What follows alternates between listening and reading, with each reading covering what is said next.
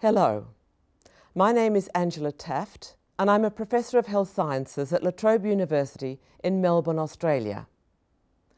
I'm discussing our paper about screening women for intimate partner violence. This summarises one of a group of Cochrane's systematic reviews of interventions to prevent or reduce partner violence against women in healthcare settings. It's a collaboration between Australian, American and UK scholars. Intimate partner violence is a serious breach of human rights that damages individuals, their children, communities and whole societies. Women in their reproductive years are the majority of victims. Globally, one in three or four women have been physically or sexually abused by a partner in their lifetime. The most common consequences of such violence include poor mental and physical health, poor pregnancy outcomes, and premature death, usually murder. As a consequence of their poorer health, abused women are frequent attenders at healthcare settings, requiring a response from clinicians. Intimate partner violence is one of the most stigmatized issues in our society. Women experiencing abuse feel ashamed and they find it very difficult to talk about their experience. Yet they identified doctors as the professionals they would be most willing to disclose to. So, as a GP or as a family doctor, I feel I have a responsibility to ask women about abuse. And that's particularly important because that otherwise I don't have the opportunity to provide support around the problem, but also because we now have evidence for effective interventions after disclosure, be they expert domestic violence advocacy support or psychological support. The question we're tackling in this uh, systematic review is whether universal screening, asking all women in all healthcare settings about abuse, is effective and safe. This is actually a very controversial issue um, internationally. In the United States, there is a policy, a national policy for doctors and um, other healthcare professionals to screen all women for uh, partner violence. In Canada and the United Kingdom, there is uh, no such policy. In fact, there's a recommendation from national guidelines not to do so, as there is in the WHO uh, um, partner violence guidelines, where there's a recommendation not to screen um, women for abuse.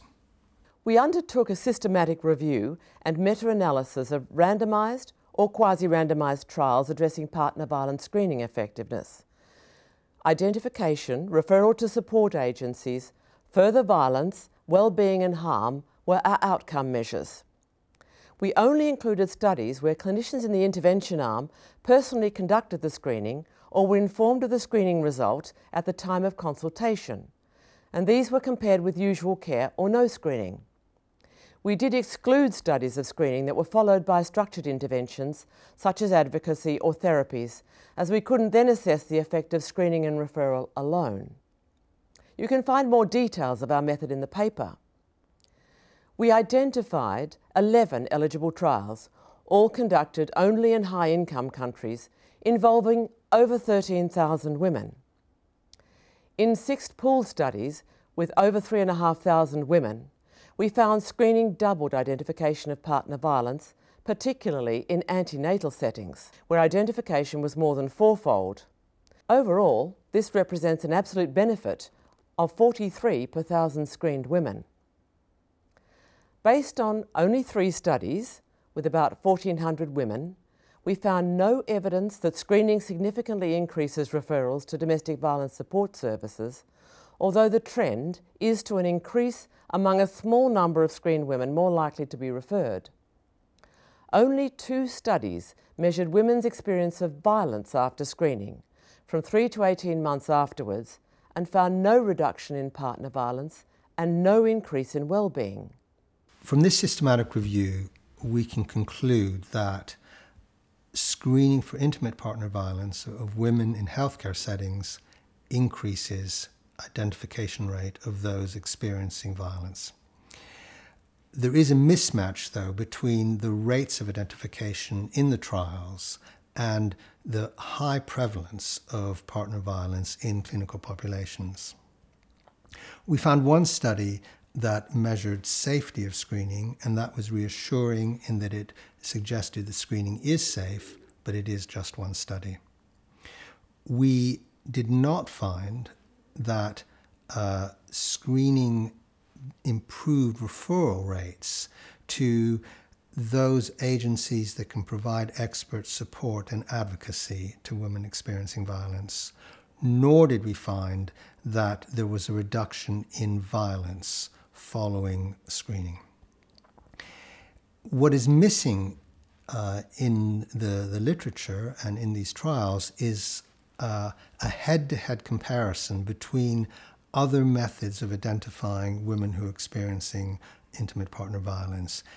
Specifically, there is no head to head comparison between a system of clinical inquiry or case finding, in other words, me as a, a, doctor asking women in relation to particular symptoms or conditions that they're presenting, such as anxiety, depression, chronic pain, or, or difficulty sleeping until those comparisons are done, we cannot say that screening is the best method of identifying women experiencing intimate partner violence.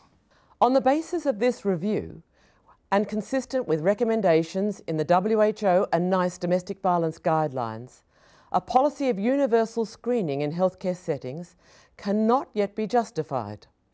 The attention of further research and policy must shift to improving the training of clinicians about domestic violence, linking healthcare services to domestic violence support agencies, and further developing interventions for survivors of domestic violence after disclosure, particularly in low and middle income countries.